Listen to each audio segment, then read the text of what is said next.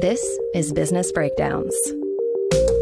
Business Breakdowns is a series of conversations with investors and operators diving deep into a single business. For each business, we explore its history, its business model, its competitive advantages, and what makes it tick.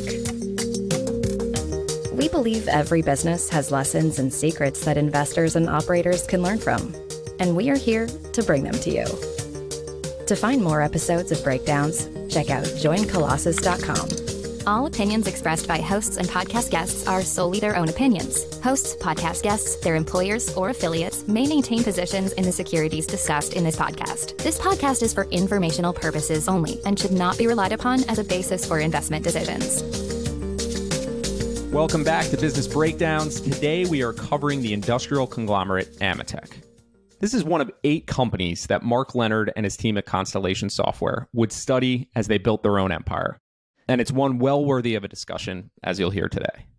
To break down Ametek, I'm joined by Nael Fakhry, co CIO of the Osterweis Capital Management Growth and Income Strategy. Nael has spent a significant amount of time around Ametek from the early 2000s until today. We cover the complexity inside this business, where Ametek is manufacturing mission critical parts for NASA missions, complex fusion energy developments, and inside aircraft cockpits. We cover the simplicity of which management approaches growth and their own business model. They're referencing targets like doubling earnings per share every five years and compounding revenue at 10% annually. Before we transition to the episode, I do have to mention that a second of Mark Leonard's eight high performing conglomerates was also featured on a Colossus podcast this week. Our colleagues at The Art of Investing interviewed Danaher co founder Mitch Rales. This is Mitch's first recorded long form interview of any kind, and they made it count. Now, each of these episodes is great in isolation, but even better as a double feature. Now, please enjoy this breakdown on Ametek. All right, Nael, thank you for joining us to break down Ametek. I thought just to kick this one off, they're self described as this manufacturer of high tech industrial solutions, but I thought maybe you could help us come up with a better way just to describe, as simple as possible, what Ametek does, and then we'll jump into the meat of the conversation from there. Sure. So, the way I would describe Ametek on a one line basis is that it's a niche manufacturer of highly engineered products across a very broad range of end markets. It's not just one product or one set of products. In fact, you've probably never heard of most of these products, but they play a really critical role across a bunch of industries. Can you talk maybe just about those end markets? Are there specific ones that dominate the revenue pool? Anything that you can share there on the end markets to give us a better picture as well? The way the company describes it is that there are a handful of end markets that dominate. The largest is medtech, that's a little more than 20% of total revenue. And then you have aerospace and defense, military, that's a little under 20%, about 18, 19% of revenue. The power market, the serving utilities and others, that's another 10%. Automotive is another roughly 10%. And then you have semis, R&D, and then just other industrial. There are four or five markets that are 50 to 60% of sales. But those are the major end markets. It's quite a diversification of end markets there. Is there something that's unifying what they're actually selling? You gave us some sense in terms of highly engineered products, manufactured products, but is there something that's kind of unifying all of those products across those end markets? Yeah, what I would say is so, first of all, there are probably tens of thousands of components and parts and products that they sell. Because if you look up any one business unit within Ametek, and there are over 40, you'll find that that one business unit might sell a couple, three, four, five thousand parts. So it's a really broad array. But I think the one unifying factor across products is that they are mission critical. They're really important to the operation of some larger system but the costs are actually usually really small relative to the overall cost of the system. So think about a component that goes into a part on a commercial jet.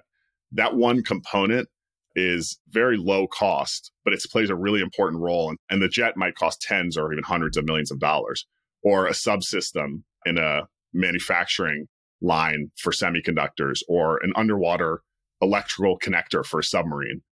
Usually, in the history of doing the show and looking at businesses, leads to some type of pricing power as well, whether the company decides to take it, but that representing a small percentage of the overall cost, but being mission critical is usually a good formula that leads to pricing power, in my experience. Yeah, exactly. And that's the case here. Would you say there's anything unique about these various end markets that they're targeting? Anything that they try to do that might unify their strategy in terms of how they're approaching it? Yeah, I would say it's not necessarily the specific end market. I mean, they do obviously have a focus on certain end markets they find more attractive, but it's the structure. So if you talk to the company or if you talk to former employees, you get a very consistent message that AMETEK tends to be number one or number two. They're always going to be the dominant player. They want to be in really small markets. So on average, the market size, the whole market is about two to three hundred million dollars in size. And they tend to have on average, it's a very broad sweep number, but it's about 25 to 30% share on average in each market.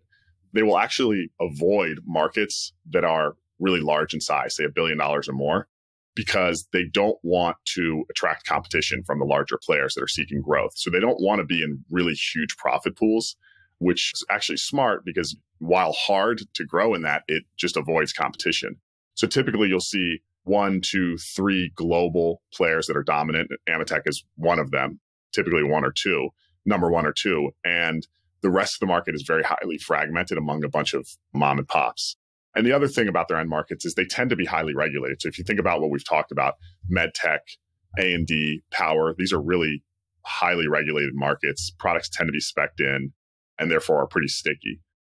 Yeah, it's subsegments of bigger end markets, but very interesting just in terms of running counter to the traditional example of going after a big TAM.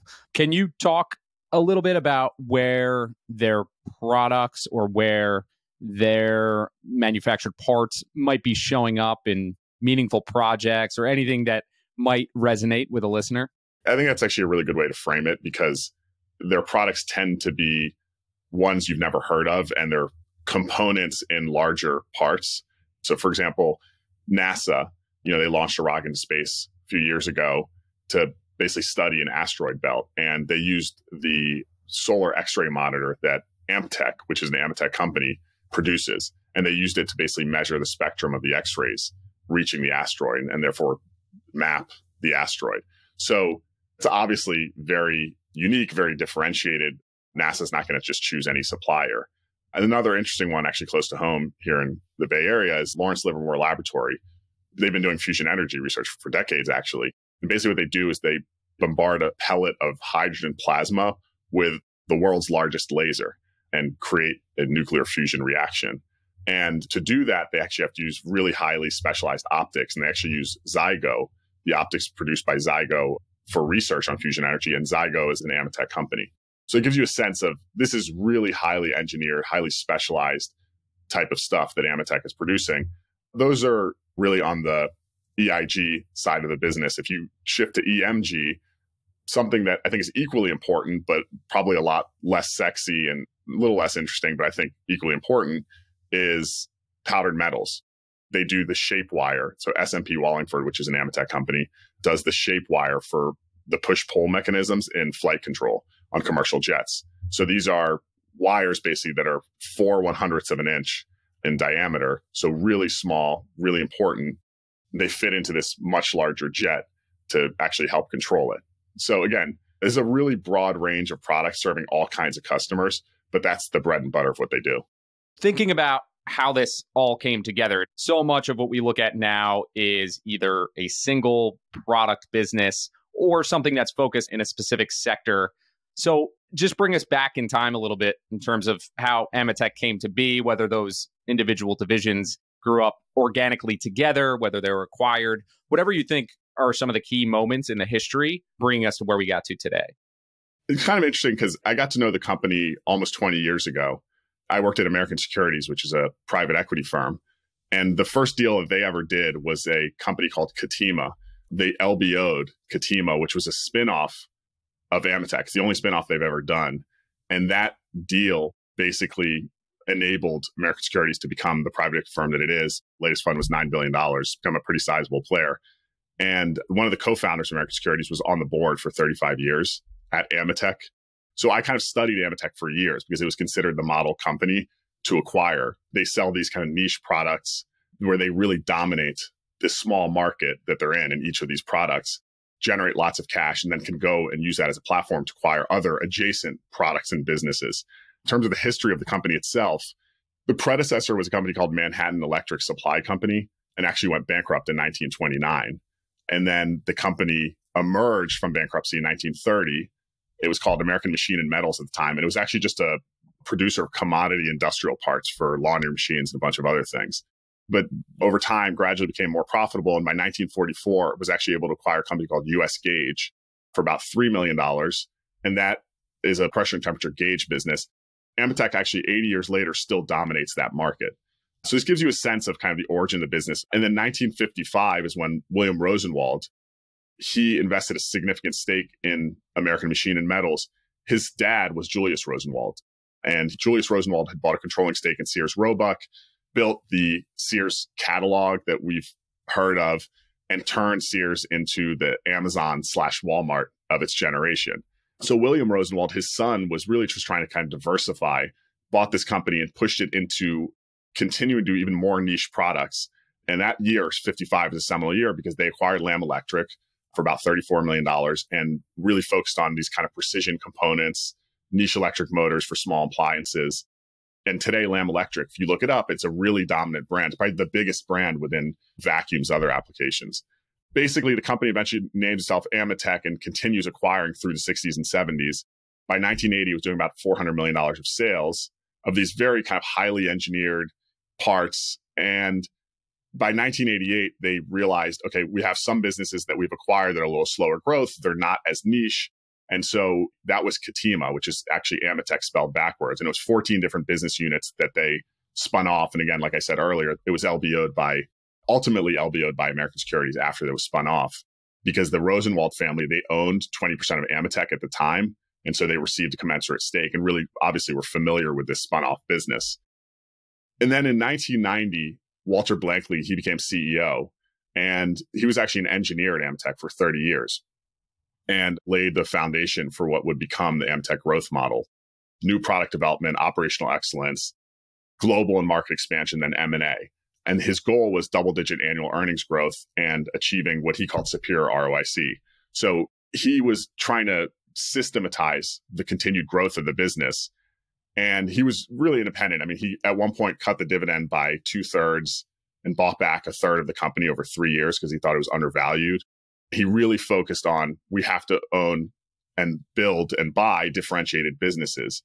So he actually separated the water filtration business in the late 90s because he thought it was overly commoditized. And then you get into the 2000 period, this guy, Frank Hermance, became CEO he'd been at AMETEK for about 10 years and he basically took the Blankley model and just applied it going forward. So a lot of M&A and really big focus on margins, that operational excellence. And the earnings compounded about 15% until he left in 2016. And you get to the present, David Zapico is the current CEO.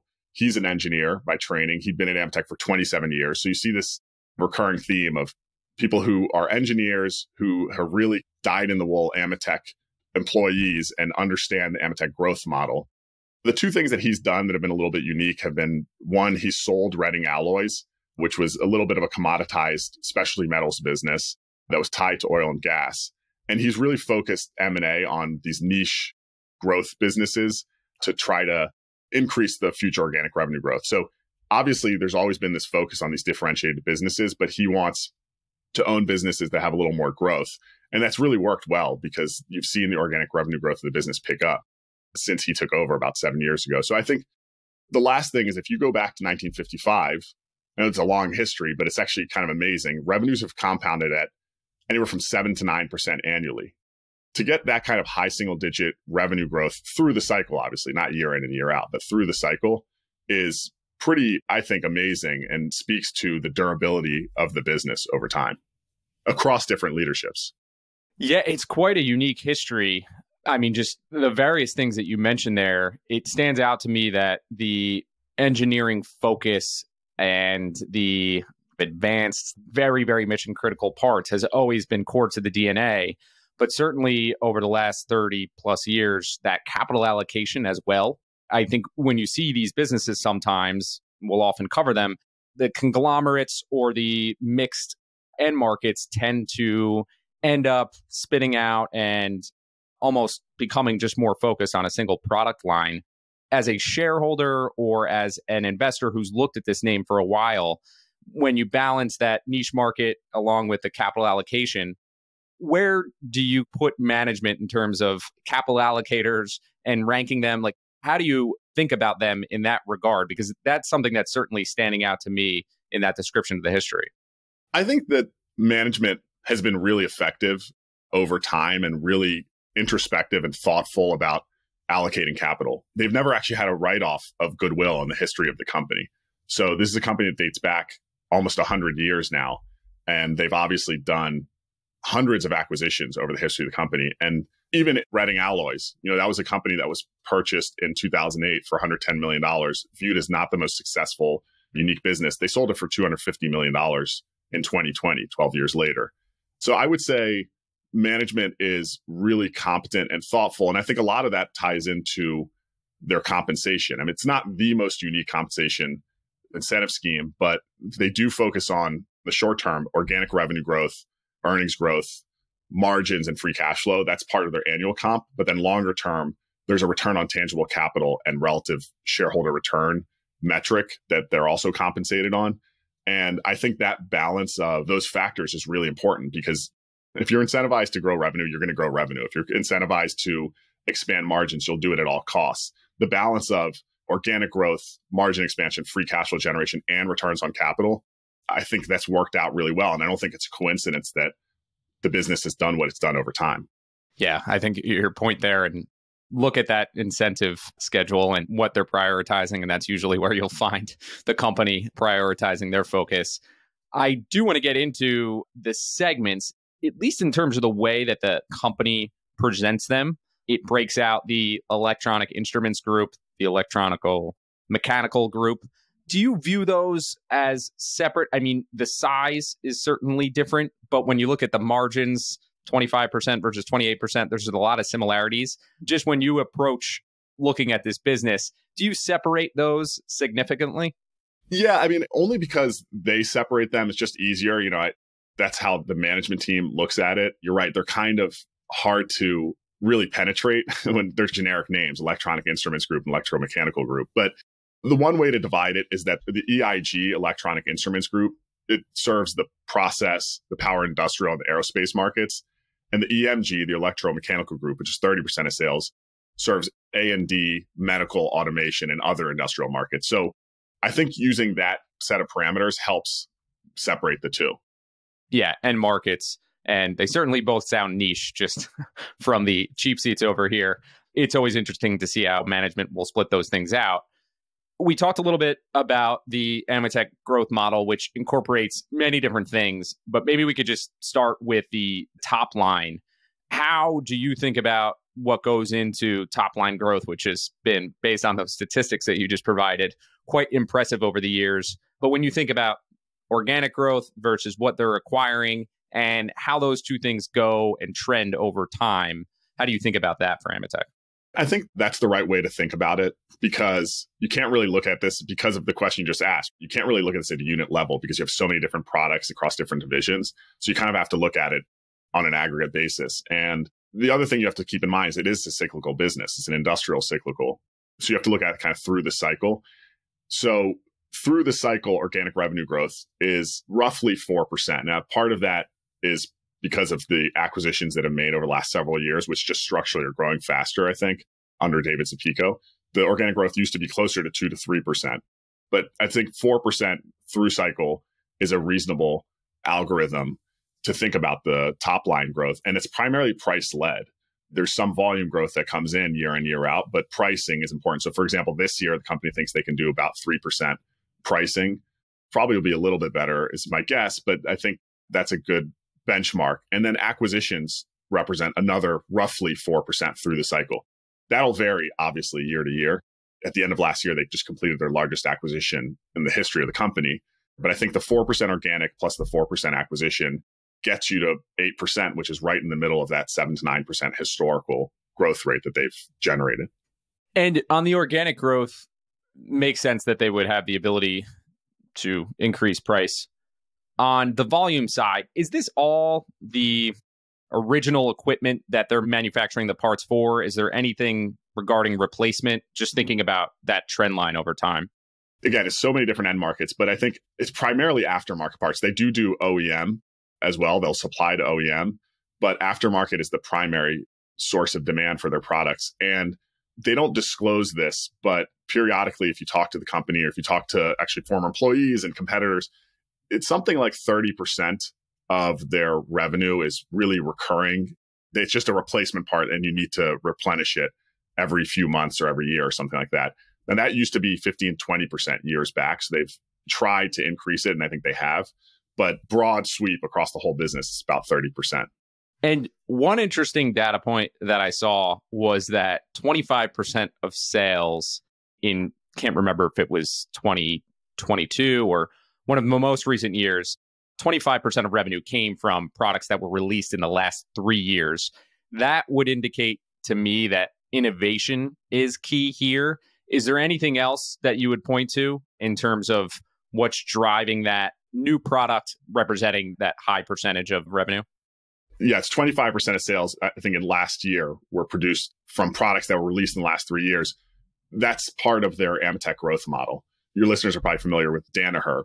They have the Danaher business system, and AMETEK has the AMETEK growth model, and new product development is actually one of the four pillars of the AMETEK growth model. And that innovation, a couple things I would say. The CEOs are David Zapico is an engineer. He's been with the company for years. They have 2,900 engineers on staff here in the US and outside the US. And they invest about 6% of sales in research, development, and engineering. And that's actually increasing over time. That 6% is pretty significant. It's actually in line with Danaher, I just mentioned, significantly higher than Honeywell or Illinois Toolworks. And so that is a core part of their AMETEK growth model because they've acquired some of these businesses literally going back to the 30s and 40s and so you have to invest in the products and innovate and work with your customers so that you can remain kind of leading edge and maintain your dominant position because they're in these niche markets, but there is competition. And so that's a really core part of what they do. And I think it's important to driving the organic revenue growth and driving those volumes because you can obviously get lazy and juice your margins by not investing, but I think they realize that that's not a sustainable approach. Yeah, it, acts as a unique marketing tool in some ways, I think, as well, because it points to how much they are releasing new products. And I'm sure when there's competition in end markets, that's consistently important. I would say, just in terms of price, if you're telling your investors, hey, we're raising price in excess of cost by 50 basis points, 100 basis points, you have to be able to turn to your customers and say, well, we're also investing for this product innovation that we were telling you about. I think there's reality to it. I don't think it's just marketing, but you're right. It is marketing as well. I think it's important. Yeah, absolutely works hand in hand. And before we get to the margins, one other thing that stood out in terms of the revenue is that 50% is coming from outside of the US. Was the international growth story an actual thing, or was this always kind of a globally diversified business where a large chunk of sales were coming from outside the US? I think that was an intentional development as the business grew. And again, that's part of the AMETEK growth model is product and market expansion.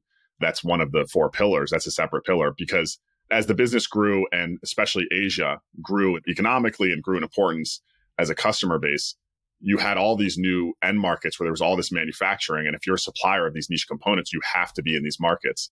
And so as demand there grew, they intentionally expanded there. They've done acquisitions to serve customers that are outside of the United States.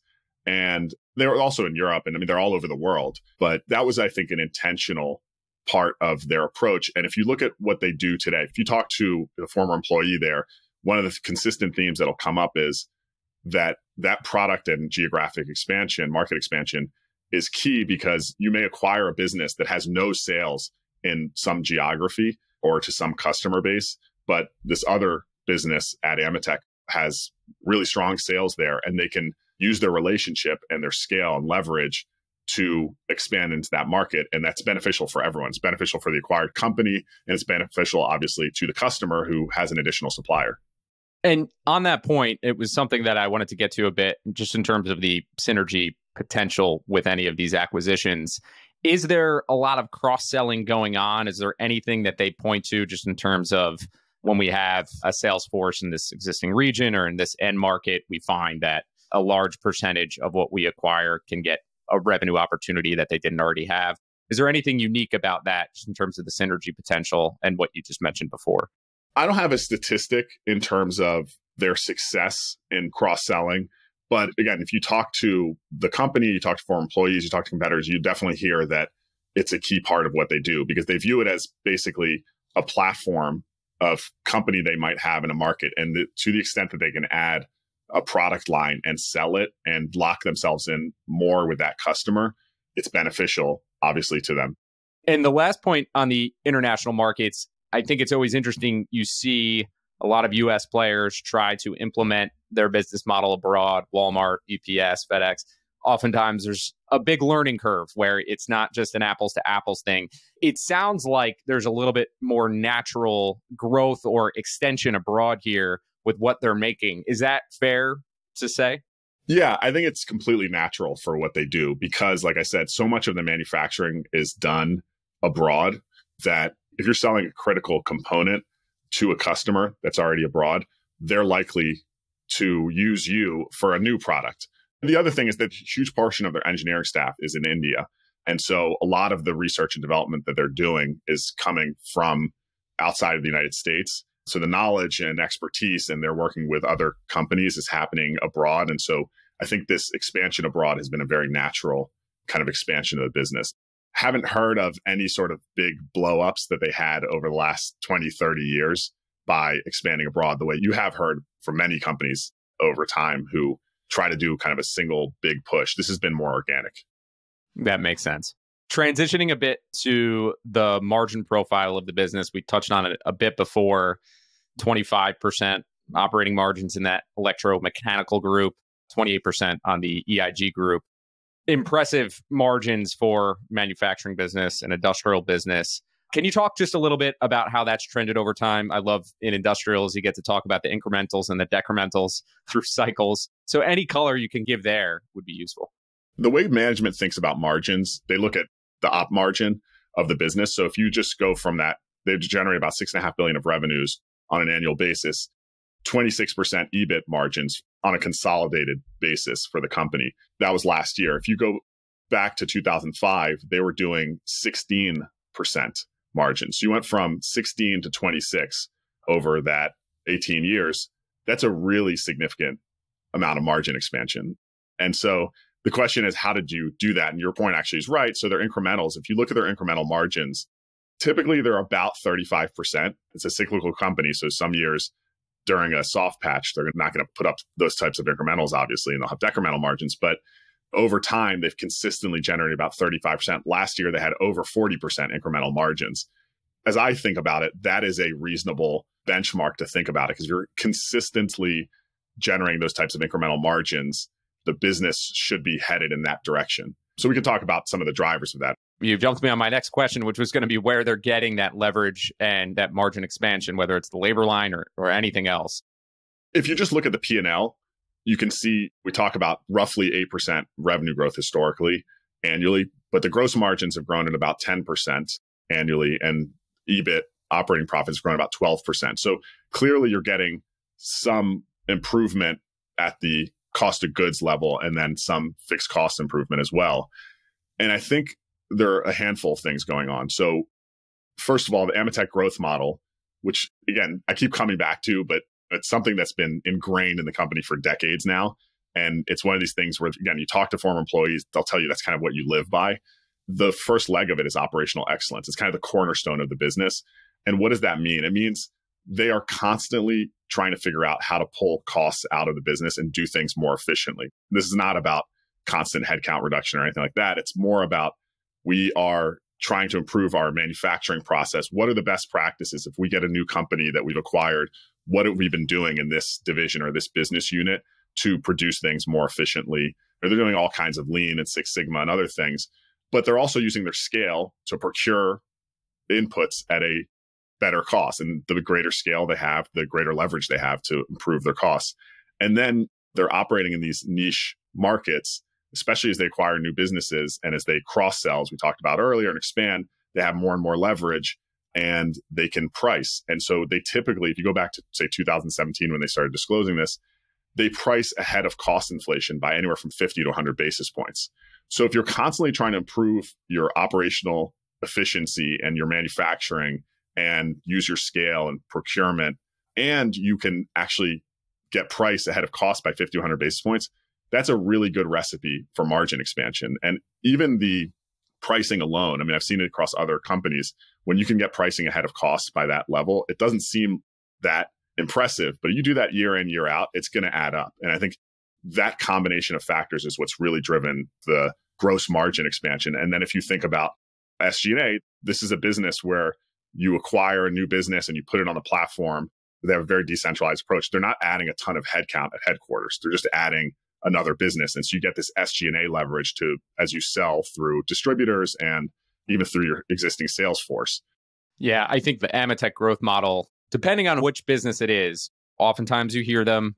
In this particular case, I think you can point to the performance of the business and get an understanding of the credibility that goes into that growth model there. Where for others, it might be just more show. Here, I think there's a case to be made that it's a, a very big part in terms of how they work and how they operate. I did want to get into that operational approach. And when you're managing all these different businesses with all these different product lines, you tapped into it a little bit there in terms of that decentralized approach. Is there anything unique there? I think talked about Danaher. There's some other great examples of businesses that TransDigm try to make sure that they're incentivizing the individual business units. What does AMETEK do?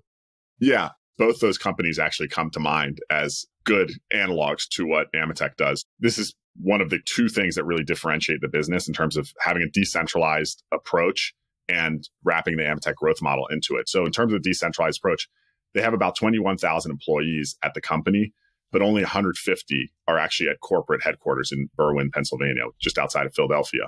So, you think about there's a small corporate headquarters, but all the decision making is pushed down to the business unit level. So, they have 42 different business units that roll up into 11 divisions that roll up to four group presidents who report to the CEO. But those business units, those 42, that's where everything is really going on in terms of the operations of the business. So each of those business unit managers has P&L responsibility. That's what they're doing day in and day out is they're trying to improve that P&L for that business unit. This is from again talking to former employees about 75% of the comp is at the business unit level the manager of that business unit really cares about what he or she is able to do to maximize profitability and grow that business over time. Very interesting to see how these businesses that come together through acquisitions are worked through. Is there anything else regarding the integration of new businesses into the business model that we haven't talked about that you think is interesting? Yeah, I would say what's really important here, actually, this kind of touches on the last part of the AMETEK growth model, which we didn't talk about, which is acquisitions. That's the fourth leg of stool. So it's operational excellence, the new product development, the global market expansion, and acquisitions. And the end goal of all of it is that double digit earnings and revenue growth, significant free cash flow, and then strong and improving returns on capital. Acquisitions are this really key component because they acquire a business about half the time that acquisition is coming from the business unit level. So a manager will say, Hey, if we were to acquire this adjacent product line or business, it would really improve our position with our customer. And by the way, to the extent that business that's acquired is helpful, it's going to help the business unit manager. And if it's not helpful, the business unit manager doesn't want to own that business. So they're constantly looking at these acquisitions to kind of improve their offering. And then they can use their operational excellence and develop new products and expand into new markets with that acquired company and therefore drive margins, which drives higher free cash flow, which enables you to kind of do this all over again. So it's this virtuous cycle. And I think the acquisitions really tie it all together. I don't know if you have any color on this, but it's interesting to me whether it's former employees who may have mentioned something. But when you have these models, the upside is all great sometimes though the reality is having businesses that maybe could cannibalize one another or maybe it would be better for the overall business if there was things bundled together and that might impact pricing a bit and look negative at the unit level or the business unit level. Have you come across any downsides to the operating model like that or challenges that they've had to work through?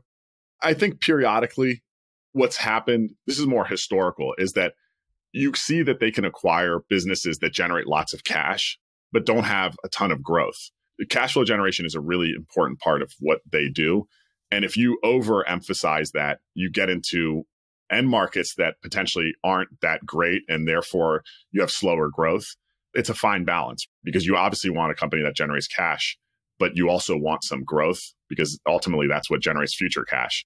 So I think that's where they've had issues in the past. And you've seen the actions they've taken is that's what Ketema was when they had those really slow growth business units, they spun them off because they said it's not core to the business. Or Reading Alloys in 2020, it was tied to oil and gas. It was just cyclical, generated lots of cash, but it just wasn't something that made sense from a growth standpoint. So I think to me, that's where they've kind of run into issues in the past is sometimes overemphasizing cash flow. And frankly, if that's a mistake you're going to make, I'd much rather make that mistake because a business that generates lots of cash theoretically has more downside protection as long as you're not wildly overpaying. Yeah, I would imagine it makes for an interesting acquisition target to divest it from the portfolio. And it all points back to them being very interesting capital allocators where you often hear of great purchases. It's equally important to make great sales. And I think that it's harder and harder to find management teams that want to focus on that side of running the business, or at least focus on a conglomerates and thinking about it through a portfolio approach rather than focusing on one specific product. One of the data points that was really interesting was that 75% of free cash flow over the past decade has gone to acquisitions, which is an incredible number. And I think split the remaining 25% split between dividends and buybacks.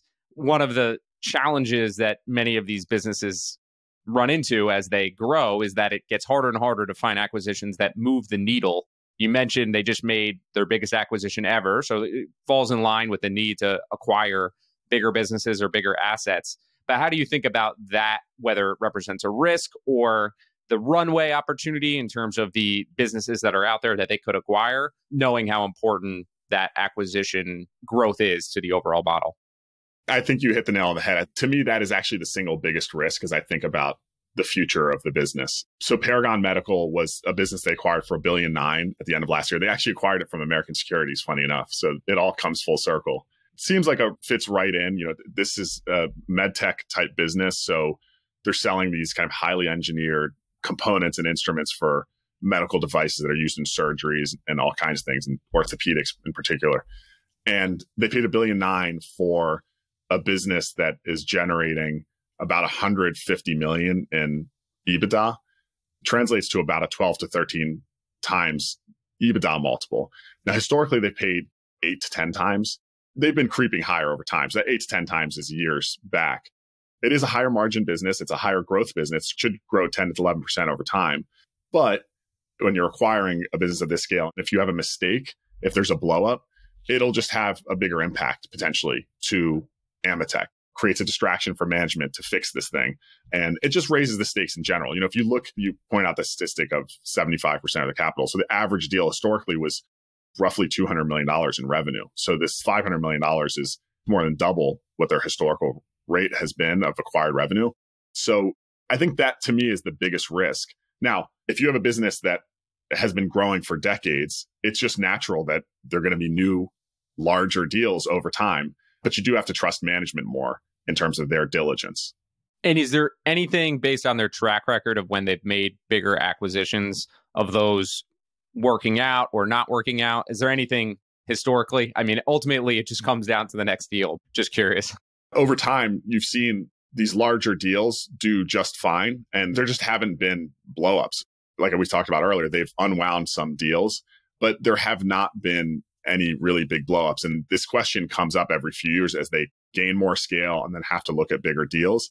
But I think the discipline of incentives, that's where this is really important because if you're focused on improving organic revenue, these deals make a difference because they start filtering into organic revenue. If you're incentivized to improve earnings per share, but also margins and free cash flow, that's a good check. And if returns on tangible capital are a key to your long term incentive comp, in addition to shareholder returns, all of that ties in as a check on how these deals go. So I think they understand that the stakes are raised. They completely get that, but just natural that they're going to look at bigger deals as they gain scale. And you've seen this at other businesses as well, where there have been deals that have gone wrong with other businesses as they get larger, but there have also been deals that have gone really well. And this is just kind of a natural, organic evolution.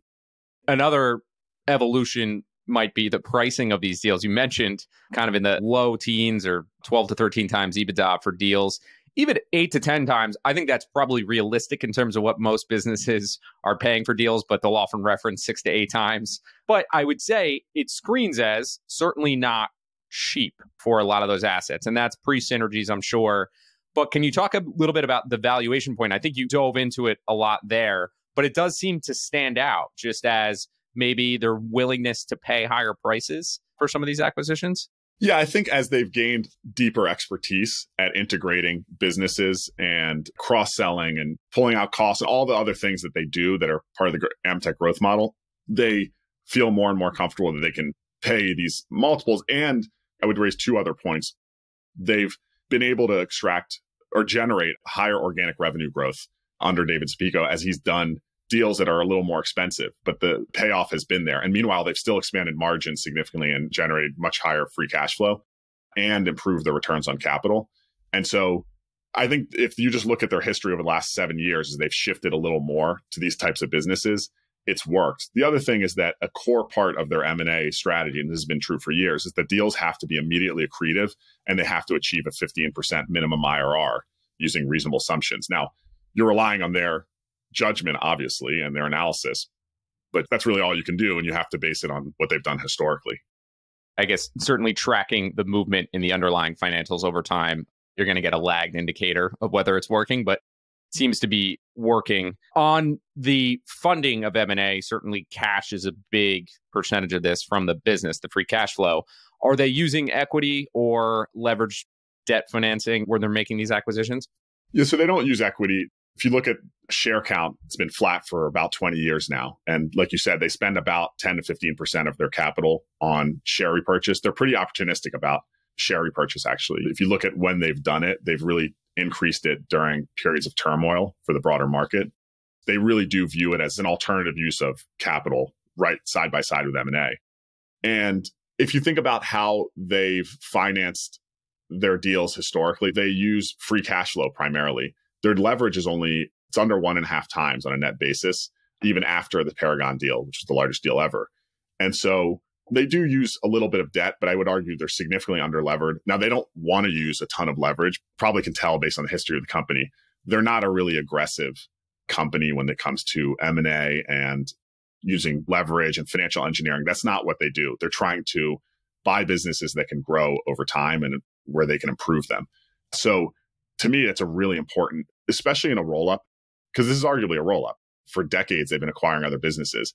They generate tons of cash. The free cash flow conversion net income is about 115% if you look at it over a long period of time. And then the leverage is, I think, very conservative, under one and a half times, especially if you're relative to peers.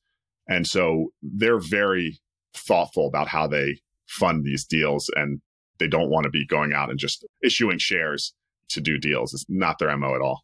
Yeah, on the debt point, I think certainly screens is underlevered. One of the points you were making earlier was that this is a cyclical business. So you do see some swings. Do you have a sense of historically, whether it's the 15, 16 industrial recession or 2020, maybe what the EBITDA line did in terms of declines? I think your point on it being a roll up and you have to be very, very thoughtful about how you're using leverage in a roll up is an important one it's definitely a cyclical business. And the best, I think, precedents to understand the cyclicality in a typical slowdown would be in 2001 and then the industrial recession, like you mentioned, 2015 and 16. In both those cases, revenue was down. In 01, revenue was down 1%. In 15 and 16, revenue was down 1% and 3%. Those are total revenue numbers. So not much. But if you look at 15 and 16, I think is a good one just because it was across two years. The mix of businesses was pretty similar to what we're seeing today. EBITDA was actually slightly up in 2015, despite the revenue decline. And then in 16, it was down about 8%. So you had a decline, but it wasn't a dramatic decline in profitability. In 2009, revenues declined 17%, EBITDA was down 13, so a little less. And then obviously in COVID, revenues were down about 12% that year. And EBITDA was actually up low single digits in 2020. And so I would say there are a couple takeaways. One, the business is cyclical. So you see the top line compress, but EBITDA doesn't compress probably as much as you might think. And the second point, which I think is really important, is that the snapback in profitability within a year or two is really significant. They quickly are able to exceed, meet and exceed prior levels of profitability and then get larger. And this is something we talk about, I like to touch on is that the companies like AMETEK that are, I think, really high quality cyclicals tend to do better in these periods of slowdown. And they actually will take share from these small mom and pops and they'll just grow and improve their cost structure. And not only that, they'll actually be able to take advantage of M&A. So if valuations get compressed, they can actually buy companies at a time that everyone else is stepping back. And AMETEK is the permanent, you know, it's in many ways ideal home for other companies that want to sell because it's not a highly transactional business in terms of buying and then selling. They want to hold these companies forever. And actually, in some cases, like we talked about in history, literally these companies go back decades. Yeah, opportunistic acquirers of their own shares certainly have a case to be made there, I think, for being potential winners over the long run during those periods. Before we close out on the capital allocation section, just the dividend, it seems like something they are paying. There was that cut, which was notable, but anything you would point to there in terms of relevance with the dividend? I think that cut back then was justified. That was, you know, in the 90s, in the early 90s. It made sense at that time because of the broader reality of the shares being undervalued. But they've been paying, they pay a small but growing dividend. So it's about 10 to 15% of their free cash flow generation that they spend on dividend, and they consistently grow it roughly in line with their free cash flow per share and earnings growth. To me, I think that's a really good position to be in because it tells me that they have higher and better uses of capital, primarily M&A, and then periodically they'll do share repurchase. And the dividend is kind of the output with the excess capital. But it also, at the same time, it creates some discipline. I think this is true across a lot of different companies. When you have these small growing dividends, it does create some discipline. We have to meet this obligation over time. And it's more a signal to investors than anything. And meanwhile, they can retain internal capital to actually go out and buy companies rather than going out and issuing excessive amounts of leverage or, like you were asking earlier, issuing equity, which would be kind of last thing I'd want them to do. One point that you mentioned earlier, just in terms of the valuation of the deals that they're acquiring and those ranges, I'm just curious how AMETEK has trended over time. What valuation methodology you would use as an investor to look at this business, assuming it's some type of EBITDA multiple, but just where it's ranged over time and just general framework for that would be useful. I look at it both on an EBITDA basis and on an earnings and free cash flow basis. Everyone kind of talks about earnings for this company. The reality is free cash flow conversion is significantly higher. But if you look at it over time on an earnings basis, it's, it's traded in that 20 to 25 times range, which given the returns on capital, returns on capital were back in 2005 or something in the 35, 36% range on returns on tangible capital because they do a lot of acquisitions. They're now 80% as of last year. Not only are they really high, but they're improving. And I think improving returns on capital, that's one of the single most important indicators of value creation for shareholders. And so it's not a cheap multiple, just in absolute terms, but relative to the quality of the business and proving returns on capital, I don't think that that's crazy at any one time. But obviously, you want to buy it when it's cheaper. And then from an EBITDA perspective, it kind of trades in the mid to high teens. Obviously, you have to take into account a bunch of different things. Rates are where they are now. The market is trading at a bit of an elevated multiple at the moment relative to history. Historically, you can think about those earnings multiples over time. Yep if you said the market traded and used to be in that 15 to 16 times, but let's say 15 to 20 times for a business that converts earnings into cash flow above 100% and has those returns on capital, I think getting some premium to that is certainly not unreasonable and why the market would trade it there. A completely fair case. We talked about the risks associated with bigger acquisitions, to some extent cyclicality. Do you think there's anything else that you would point to as a key risk or maybe that other investors suggest is a major risk for the business? I think one conversation that you'll hear, and I think it's a legitimate question, is around the organic growth of the business. They've achieved high organic growth over the last several years. How sustainable is that? And is the volume growth large enough? Are they capturing these large growing, structurally growing areas of the economy? They'll talk about automation, they'll talk about renewables, they'll talk about medical device and semis is a big theme that they play into, but are they really capturing all of that?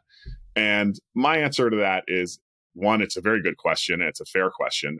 If you look at the organic revenue growth pre 2016, it was that two to 3% range through the cycle, which isn't that inspiring relative to nominal GDP growth of, say, 4% in the US over time.